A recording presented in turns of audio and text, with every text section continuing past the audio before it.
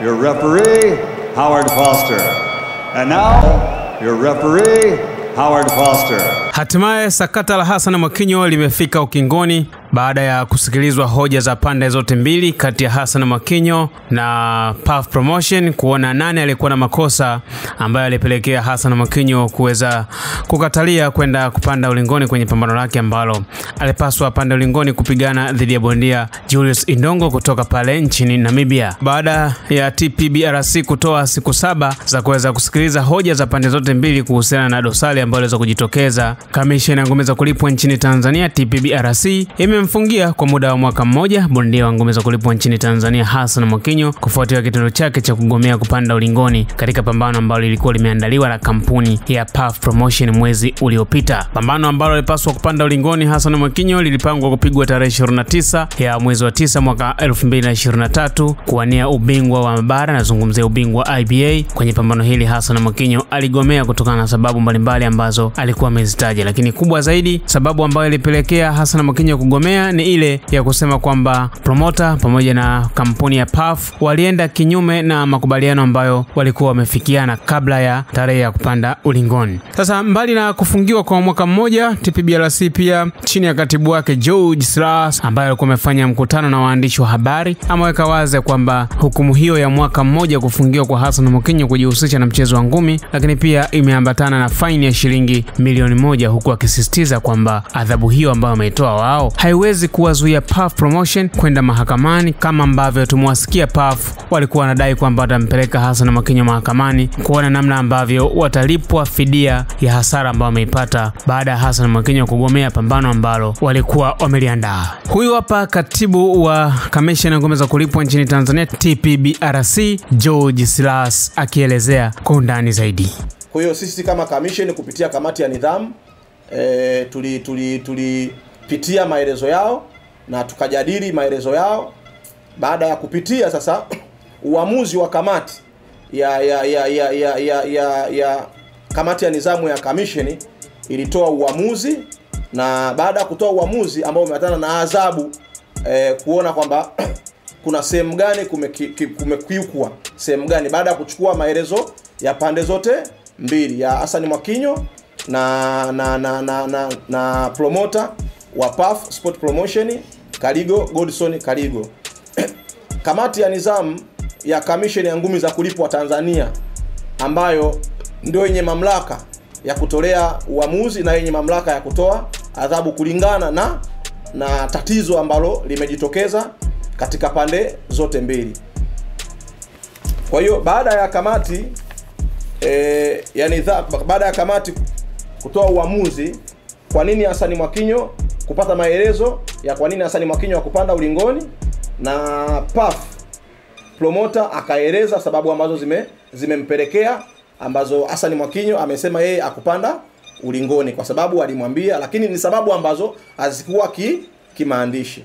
Sasa kamati ya nidhamu eh, kamati ya nidhamu baada ya kupitia pande zote mbili imetoa uamuzi wake baada ya kupata hayo maelezo kwamba kutokana na ukweli kuwa e, bondia Hassan Mwakinyo kugomea baada ya kupata pande zote mbili kuwa kugomea au kuto kupanda katika ulingo kushiriki pambano hilo bila sababu zenye mashiko. Kamati imeona sababu zake Hassan Mwakinyo kwa sababu hazikuwa hazina mashiko, maanake hazina vielelezo vyovyote, kwamba kamati imeona sasa kuona Hassan Mwakinyo kugomea kwake kushiriki pambano ni sababu ambazo hazina mashiko. Ni dhahiri shairi amekiuka mkataba wake mwenyewe na kampuni ya ukuzaji itwayo PAF Sport Promotion na hasa kwa, kiku, kwa kukiuka kifungu cha 14 cha mkataba huo, na sababu hiyo mkataba unaeleza zaidi ni kipi kinapaswa kufanyika ikiwapo bondia anapokiuka mkataba wake na mkuzaji, na hilo na hilo linapaswa kufanyika. Na kwa mujibu wa kanuni za adhabu za kamisheni ya kusimamia ngumi za kulipwa TPBRC, hasa kifungu cha nne kifungu kidogo cha nne tano kinachoeleza kuwa a kushindwa kuheshimu mkataba kunapelekea muhusika kupewa adhabu ya kulipa faini isiyopungua shilingi za Kitanzania laki tatu na isiyozidi shilingi za Kitanzania milioni moja pamoja na gharama za mkataba. B. Kufungiwa kwa muda wa miezi sita au mwaka mmoja. C. Au adhabu zote mbili kwa pamoja.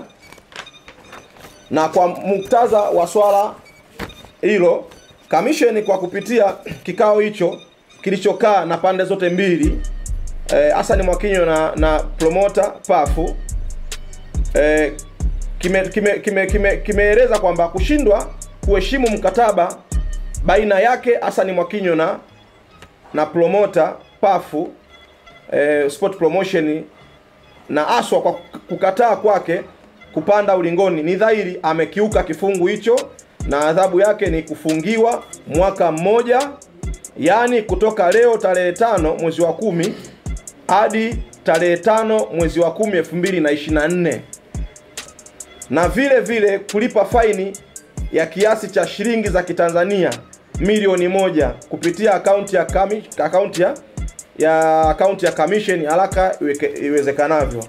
Msingi mkuu wa kutoa adhabu hiyo ni kuwa bondia Hassan Mwakinyo ni bondia mkubwa hapa nchini Tanzania ambaye angepaswa kuwa mstari wa mbele katika kuhakikisha anakuwa mfano bora kwa mabondia wengine wanaochipukia na kitendo chake cha kuji, kujichukulia maamuzi pasina kuheshimu mkataba hakika akina afya kwa maslahi mapana ya maendeleo ya mchezo wetu wa ngumi za kulipwa nchini Tanzania, na pia anapaswa kujifunza namna ya kuheshimu uongozi na viongozi wake kwa kupewa onyo kali. Baada ya kuonesha tabia isiyoridhisha wakati wakati kiongozi mkuu wa kamisheni akiongea na na yeye Hassan Mwakinyo alipelekea kutoa maneno machafu yasiyo na stara mbele ya wajumbe wa kikao hicho. Kwa hiyo kamisheni ya ngumi za kulipwa Tanzania imetoa adhabu hii ya kumfungia Hassan Mwakinyo mwaka mmoja na faini ya milioni moja. Lakini hii isiyo hii sio tu kwa Hassan Mwakinyo na kwa mabondia wote nchi nzima. Hakuna bondia ambaye yupo juu ya kamisheni. Kamisheni ninaongozwa ni, ni, ni na taratibu zake, kanuni zake. Kwa hiyo tuna tunawaomba mabondia nchi nzima waheshimu utaratibu ambao upo kwenye mkataba, wakisikiuke mkataba. Lakini vile vile tunaomba mabondia ambao nao watakuwa au wataweza kufanya tabia kama hii aliyofanya Hassan Mwakinyo, basi kamisheni ya ngumi za kulipwa haitosita kumchukulia hatua mtu yoyote ambaye mwenye lengo au alikuwa ana dhamira kuweza kuichafua kamisheni ya ngumi za kulipwa Tanzania. Kwa hiyo baada ya kutoa adhabu hii, vile vile haki ya rufaa imetolewa kwa muda wa siku saba kuanzia siku ya kupokelewa kwa uamuzi huo. Your referee, Howard Foster. And now, your referee, Howard Foster.